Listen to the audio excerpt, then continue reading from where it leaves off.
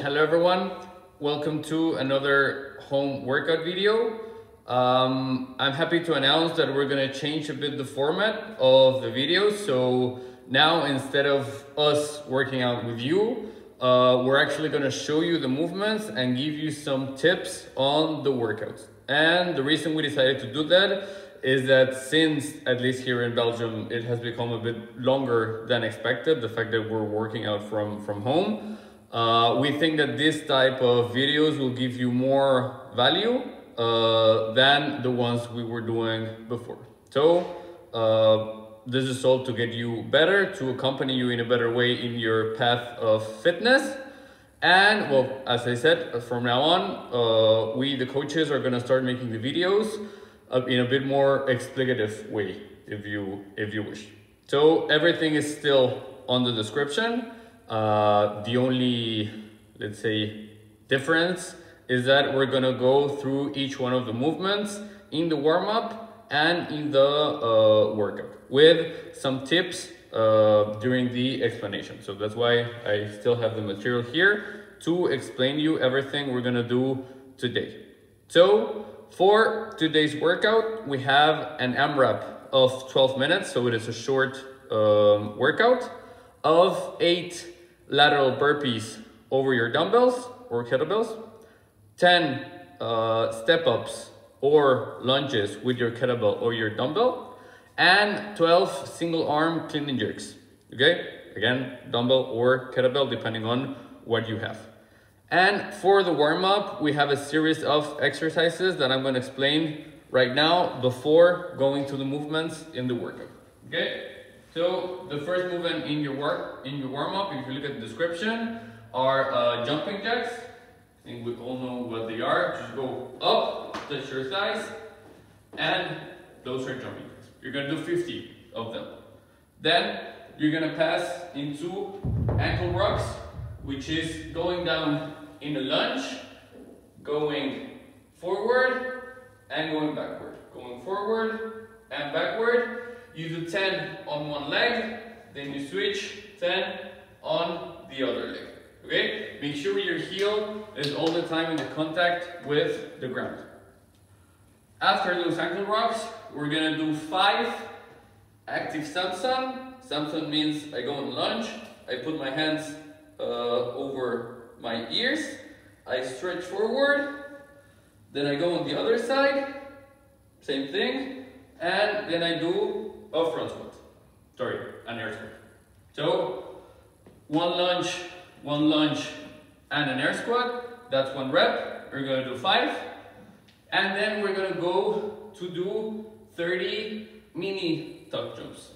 Um, it's mini because we're still warming up. We don't want you to go extremely fast or intense in your warm up. So if you do a tuck jump normally all the way up, I want you to keep your knees a bit lower and you're gonna do 30 jumps.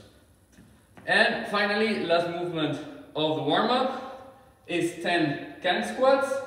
Uh, a Kang squat or the objective is to go into a good morning position, then go down into a squat, go into the good morning position, and come back up, okay? So it's a combination between a good morning and a squat. Okay? That will prime your lower back and of course your legs to do the movements we need to do today. Okay? So, now that we're done with the movements in the warm-up, we can go see the movements in the workout. Okay? First are the lateral burpees over your dumbbells. Um, if you want to put two dumbbells to jump a bit further, feel free. If not, since we're only going to use one dumbbell for today, uh, you can use only one dumbbell to jump. Whenever we're doing lateral jumps, it's not necessary to extend our hips every time, okay? That means we can do a burpee, we just put our feet on the ground, and we can jump to the side without extending the hips. This will help us go way faster but be mindful that your cardio will be taxed on this format because you're just jumping faster and doing the burpee uh, in less time. The other option, if you feel that your cardio is going really high, you do extend your hip, you step to the other side, then you do a burpee, you come up, you step again, and that will uh, help you have a better rhythm during the whole workout. Now, the box step-ups. Uh, sorry, it's box step over, which means we would have to go to the other side of the box. But for example, if you're at home and you're doing this with a chair, which is a perfect substitute, uh, you can do box step ups, which is totally fine. And the most important uh, thing we want to do is that your chair, if possible, needs to be below, sorry, above your uh, kneecap. Why? Because in that way, we simulate the depth of a squat. So if this is below your knee, you will not reach or you will not simulate the same depth as in a squat. Okay? So I needed to have something to step over um, that is a bit higher than your knee. Okay? Second, and probably the most important thing when we're doing box uh, step overs or step ups, is that I don't want my chest to be in contact with my knee, especially if I'm gonna have my dumbbell. Why? Because this means my back is gonna start uh, curving, it's gonna be not in a good position, and it can eventually get sore. So, if you wanna cue for uh, this type of movement, just think chest up, as when you're doing a squat, chest up, and then you go up, okay? Um, for today, there's no indication if the dumbbell has to be in a front rack, uh, overhead, on a suitcase position. It doesn't matter, actually. Um, probably the most comfortable thing you can do with your dumbbell is just rest it in your shoulder, and from here, do your step up, okay? If you have a kettlebell, it's a bit more complicated to just rest it. So probably you'll have to hold it in a goblet squat position or maybe hold it with both hands on one side because they're notably bigger than a dumbbell. Okay? And the final exercise is the 12 single arm dumbbell clean and jerk.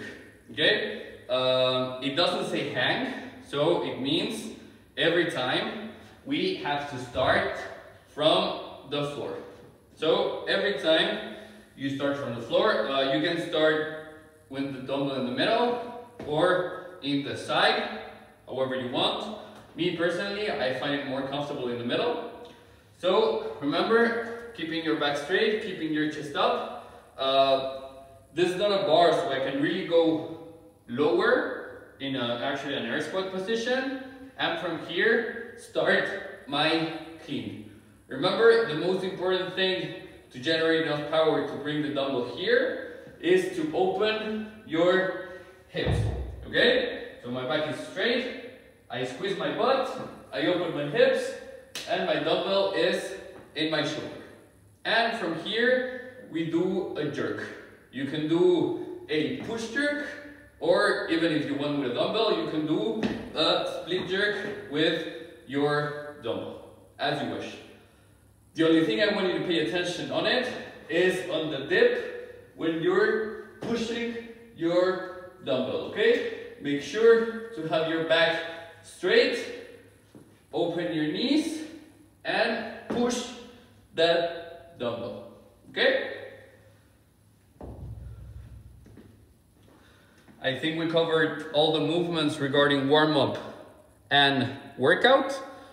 Um, it's only 12 minutes, but they are movements that tend to fatigue us really easily, which means still be mindful of having a pace, even though it's 12 minutes, okay? It's not that much, you can and you should go fast, but you shouldn't be completely out of breath after five minutes. Okay, so still be mindful of a pace. Um, I think the only thing I forgot to tell or to mention is that if you don't have anything to step up, like a chair or something, uh, you just take your dumbbell in a goblet position and you do a lunge, okay? And you do 10 per side. Um, yeah, well, now yeah, I think we covered everything.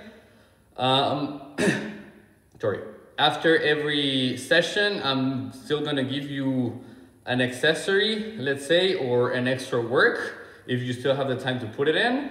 Uh, the accessory we have for today is actually a recovery run of 30 minutes. Uh, please note that we don't put any distance there, okay? It's a recovery run, it should feel light, it should feel good on your body. Um, if at some point after the first 15 minutes, you start feeling really sore and really tired from the running, you can stop because it's a recovery run, okay? That was 30 minutes as a target time, but it's still recovery, okay?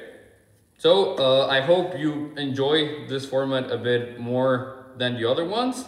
Uh, please, if you have any suggestions, any comments, whatever, put it in the comment section below. Or, as you know, contact us through Facebook um, so that we can get better and still help you uh, in this weird times we're navigating, okay? Thank you so much, guys. Take care.